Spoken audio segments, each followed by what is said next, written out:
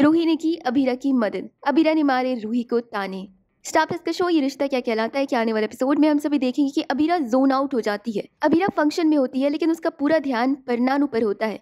अबीरा ये सोच रही है कि आखिर अचानक परनानू फ़ंक्शन छोड़कर क्यों चले गए? उसके बाद उसे अचानक से बेचैनी सी होने लगती है। तो अबीरा का ध्यान नहीं होता और चलते हुए वो कर्टन से फंस नीचे गिरने वाली होती है। कि तभी वहाँ पर रूही आती है और रूही अबीरा को गिरने से बचा लेती है। वेल, ऐसा बहुत कम ही होता है कि रूही अबीरा की मदद करती है।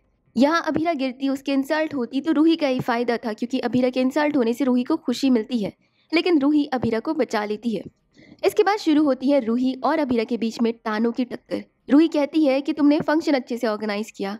तुम शादी भी करना चाहती हो, तुम इन सब चीज़ों से तो बहुत खुश हो।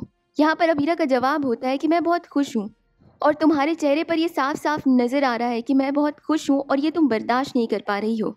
इसके बाद अभीरा परनानू के बारे में बोलती है तो यहाँ पर रूही अभीरा को रोक देती है और कहती है कि वो मेरे पीनानू है, उनसे तुम्हारा कोई लेना देना नहीं है। देखना इंटरेस्टिंग होने वाला है कि रूही को कितना बड़ा झटका लगेगा जब उसे ये पता चलेगा कि उसके पीनानू सिर्फ़ उसके नहीं, बल्कि अभीरा के भी पीनानू है। अब क्या कुछ कहना है इस पूरी अपडेट को लेकर? आप अपना ओपिनियन हमें कमेंट के ज़रिए ज़रूर बताइए। और साथ ही टेलीविज़न से जुड़ी सभी लेटेस्ट अपडेट के लिए सब्सक्राइब करें हमारे चैनल को।